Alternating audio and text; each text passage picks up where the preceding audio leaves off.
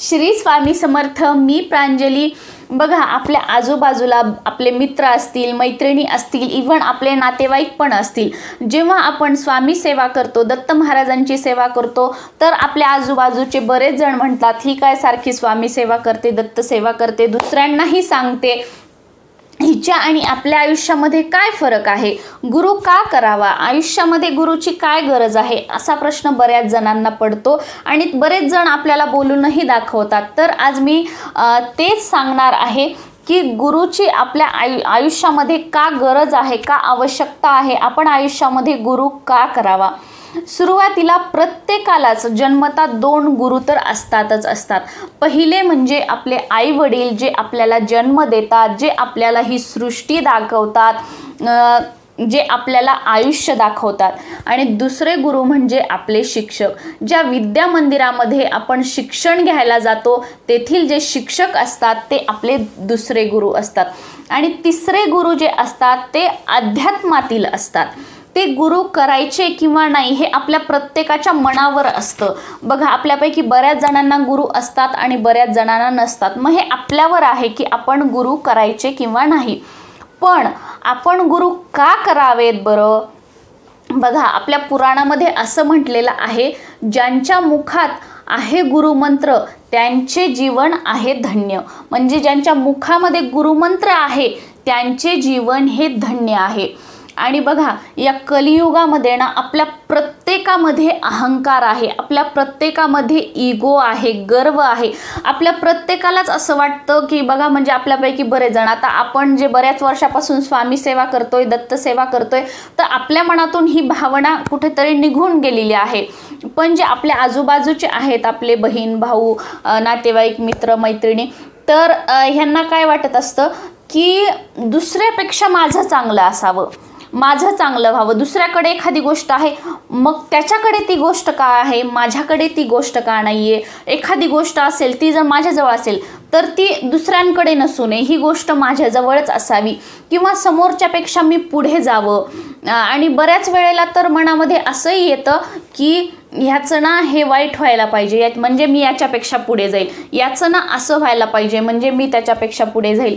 तर या कलियुगामध्ये ना ह्या अशा भावना जवळजवळ प्रत्येकामध्ये आहेत. प्रत्येकामध्ये आहेत. आणि मग ह्या अशा भावना निघून जाण्यासाठी अशा भावना नष्ट होण्यासाठी आपण आध्यात्मिक मार्गावर चालण्यासाठी म्हणजे आता आपल्याकडून भूतकाळामध्ये अशा गोष्टी झाल्या असतील तर या गोष्टी म्हणजे आपल्या नष्ट व्हाव्यात. या गोष्टी सगळ्या पोटात घालून घेऊन आपल्याला म्हणजे आध्यात्मिकरित्या आपलं मन पवित्र करून आपलं शरीर पवित्र करून म्हणजे आपल्याला दुर्बुद्धी दूर करून सत्मार्गावर चालवण्यासाठी सत्मार्गावर चालण्यासाठी आपल्याला गुरुची आवश्यकता असते. आणि ज्यांना गुरु नसतो ना गुरु विना आपल्याला मोक्ष नाहीये. बऱ्याच जणांना बघा गुरु केला नसेल तर ठीक आहे त्यांच्याजवळ भरपूर पैसाही असेल खूप गडगंज असतील गाडी असेल बंगला असेल पण तुम्ही बघा त्यांच्या घरामध्ये ना म्हणजे सतत आजारपण तरी असेल किरकिर तरी असेल किंवा त्यांच्या घरामध्ये कोणाला म्हणजे वाईट नाद तरी असतील जो पैसा आहे तो वाईट मार्गाला जात असेल त्यांच्या घरातल्या स्त्रीला सुख नसेल मग हे असे असतात. आणि जेव्हा आपण गुरु करतो ना तेव्हा आपल्याजवळ जे आहे आपल्याकडे ते आहे त्यामध्ये आपण खुश असतो. आपल्याजवळ भलेही पैसा असो नसो भलेही दुसऱ्यांजवळ ज्या गोष्टी आहेत त्या असो नसो पण जे आहे त्याच्यामध्ये आपण सुखी असतो. आपल्याला कधी दवाखान्यात जायची गरज पडत नाही. म्हणजे तसं आडी अडचणी तर ह्या प्रत्येकाच्या आयुष्यामध्ये येतच असतात. हा आपल्या आयुष्यामधचा भाग आहे आडी अडचणी. पण गुरु काय करतो? आपल्याला जर गुरु असेल तर आपला गुरु त्या अडचणींमधून त्या संकटांमधून बाहेर काढतो. त्या संकटांमधून बाहेर निघण्याचा मार्ग हे आपल्याला गुरु दाखवत असतो. आणि बघा आपल्या पुराणामध्ये एक कथा आहे. एकदा नारद मुनी असतात ना ते म्हणजे विष्णू लोकी जातात. आणि विष्णू लोकामध्ये श्री भगवान विष्णू आणि लक्ष्मी माता बसलेली असतात. तेव्हा नारद मुनी तिथे जातात बसतात. थोडा म्हणजे वेळ त्यांचं बोलणं वगैरे सगळं होतं आणि मग नारद मुनी म्हणतात की ठीक आहे आता मी येतो.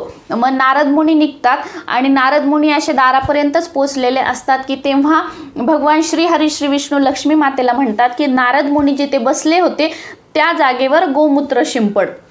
आणि मग नारद मुनी जातच असतात. मग दाराजवळ जाता त्यांना हे ऐकू येतं की श्री विष्णू असं बोललेले आहेत लक्ष्मी मातेला. मग ते परत येतात आणि म्हणतात की क्षमा करा विष्णू भगवान पण तुम्ही लक्ष्मी मातेला असं का म्हणलात की नारद मुनी जिथे बसले होते तिथे गोमूत्र शिंपड म्हणून?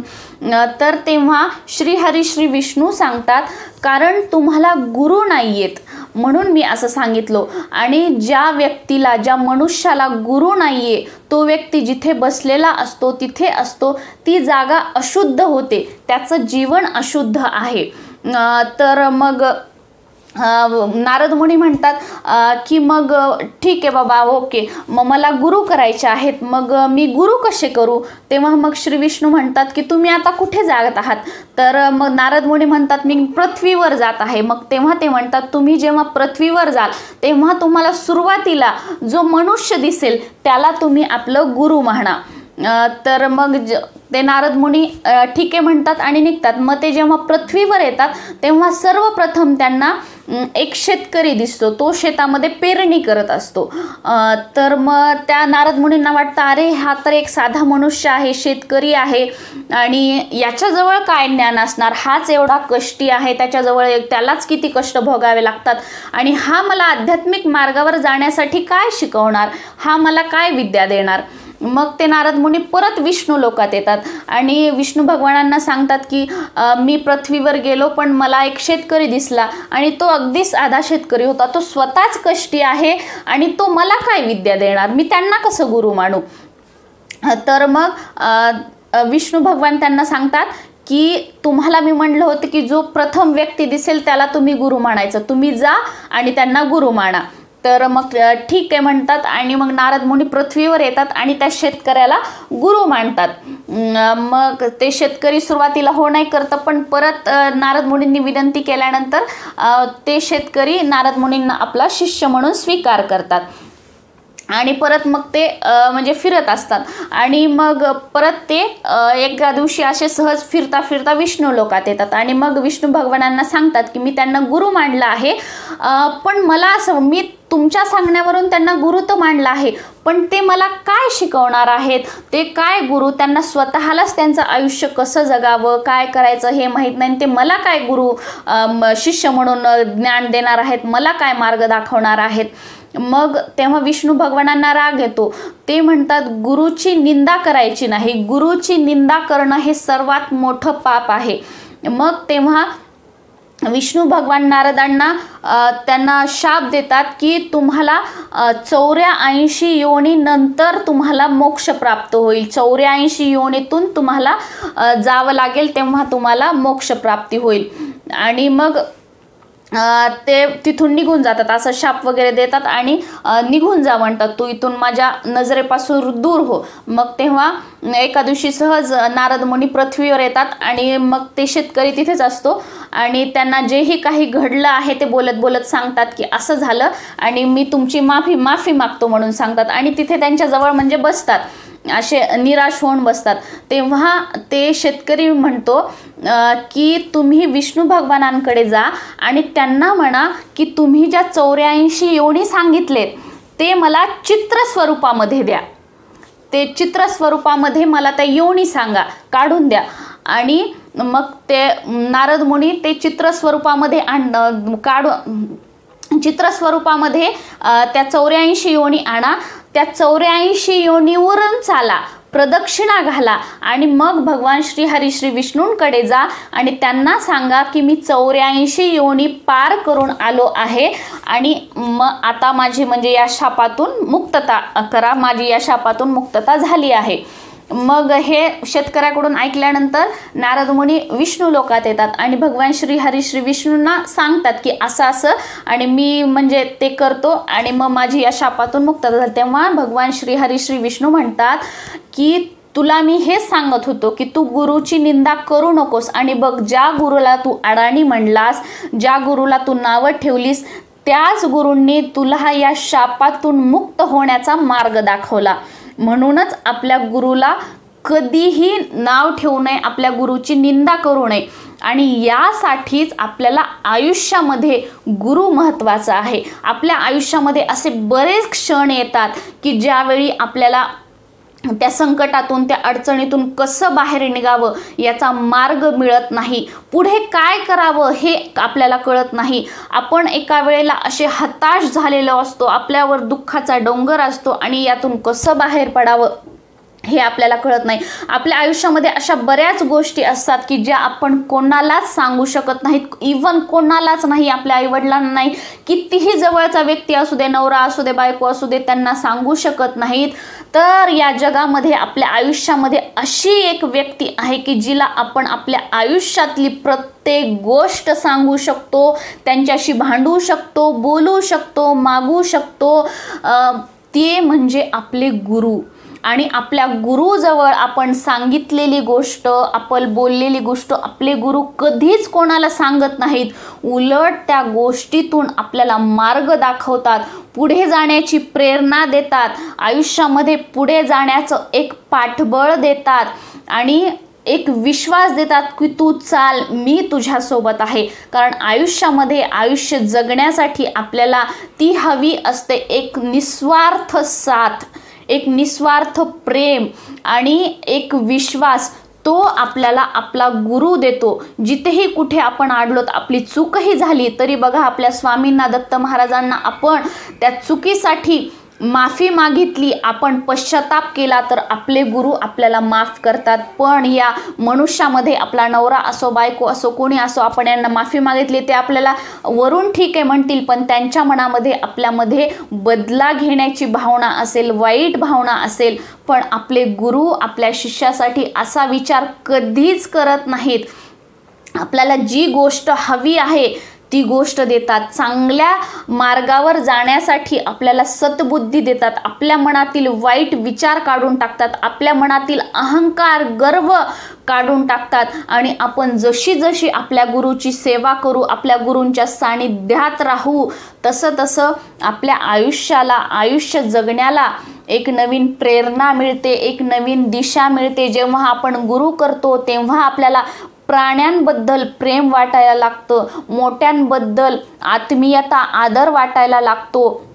या झाडांबद्दल या सृष्टीबद्दल प्रेम वाटायला लागतं. म्हणजे इव्हन चलताना एखादी मुंगी किडा जरी आपल्या पायासमोर येणार असेल तर आपण वाट बदलून चालतो. पण जी नास्तिक व्यक्ती असते ती त्यावरून चालते. जर साईडनं जरी रस्ता असेल ती मुद्दाम तिथून जाते.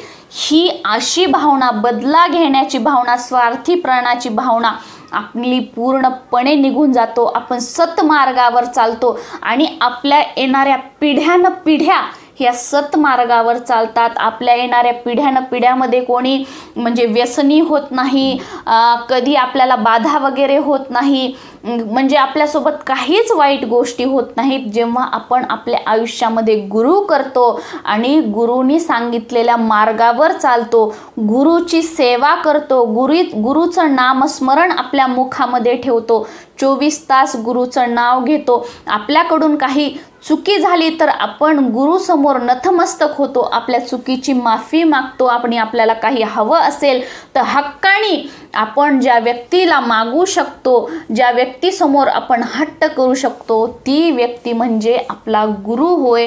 म्हणून आपण आयुष्यामध्ये गुरु हा करायलाच हवा. गुरुशिवाय मोक्ष नाही. गुरुशिवाय आयुष्य जगण्याला अर्थ नाही. म्हणजे गुरुशिवाय काहीही नाही. त्यामुळे आयुष्यामध्ये कोणी का असे ना कोणीही कोणालाही या स्वामींना असो दत्त महाराजांना असो साईबाबांना असो तुमची ज्याही देवावर श्रद्धा आहे त्यांना या येणाऱ्या गुरुपौर्णिमेला आपला गुरु माना व आपलं आयुष्य सुंदर सुखमय व आपल्या आयुष्याला एक आकार द्या. श्री स्वामी समर्थ.